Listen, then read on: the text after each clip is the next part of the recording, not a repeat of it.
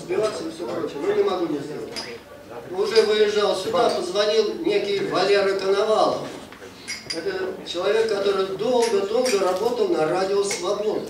Казалось бы, чего там хорошего, да? Но э, интересно, что это друг Игоря Морозова, который у нас все это дело открывал.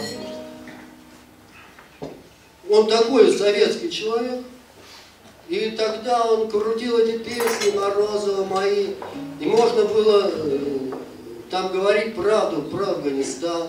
Потом, когда началась Чечня, там, ну, по радио «Свобода», я говорил то, что мне здесь глотку затыкали, значит, насчет героизма наших ребят в Чечне.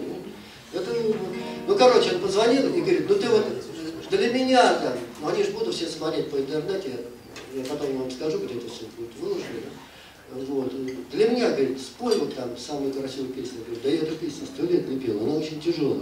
Говорит, ну пожалуйста, пожалуйста. Вот выполняем просьбу Валеры Коновалова. Песня называется «Джалалабад». Если вспомните, спою.